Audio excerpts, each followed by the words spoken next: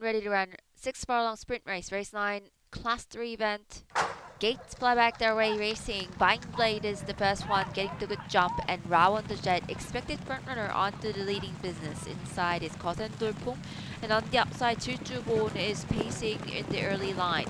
But it is Raon the Jet who is the leader. Inside joined by Kosen Dolpung. Outside Chujubon is dead. Now narrowing down towards the right, veering to the inside.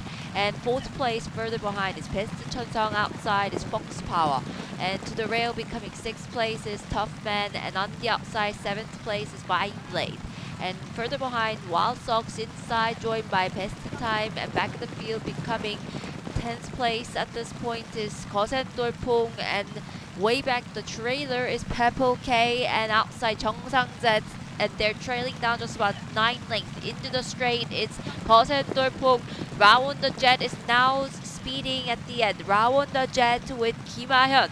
Raon the Jet lengthened stride and Kim A-hyun with Raon the Jet at the furlong pole uncontested lead. And now improving at the last minute is Best Chonsang, the favorite. Best Chonsang is getting close, but having, gone clear is Raon the Jet who sets the race pace and finishing a gate to wire. Raon the Jet is the winner. Second place is Fox Power. Best Chonsang was third.